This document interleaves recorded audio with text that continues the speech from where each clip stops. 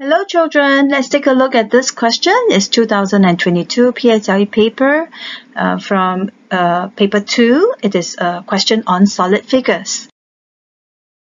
The solid figure below is made out of identical 1 cm cubes and the whole solid figure including the base was painted. Part A, how many faces were painted? So let me teach you this trick of counting without missing any uh, faces, okay?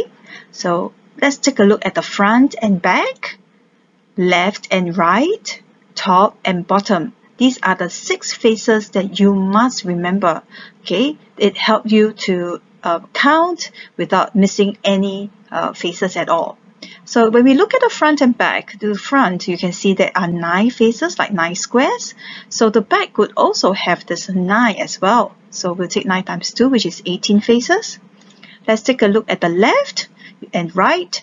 You can see there are also another 9 square faces squares so that makes like uh, 9 times 2 which gives you 18 faces on the left and right side.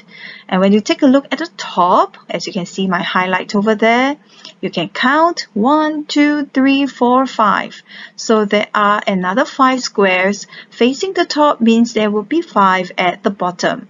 And so this makes 10 faces. To find the total number of faces that were painted let's add them up together. And your answer is 46 faces did you get this right?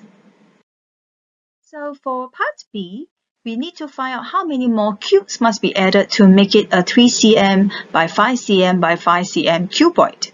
We can take a look at how many cubes are there on one layer over here so take note that's one, two, three, four, five. There are five cubes on one layer and since there are one, two, three, there are three layers stacked on top of each other. It's like a HDB block. So therefore the total number of cubes is actually 5 times 3. There are 15 cubes over here. This method is faster and it can eliminate a careless mistake. And to find the number of cubes needed to form the cuboid, we take 3 times 5 times 5. So that makes 75 cubes. And to find the number of cubes that needs to be added, we subtract them. And therefore the answer is 60 cubes.